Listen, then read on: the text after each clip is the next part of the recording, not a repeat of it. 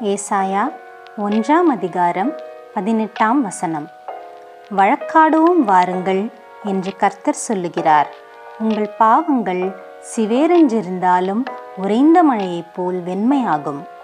அவைகள் இரத்தாம்பர சிவப்பாயிருந்தாலும் பஞ்சை போல் ஆகும்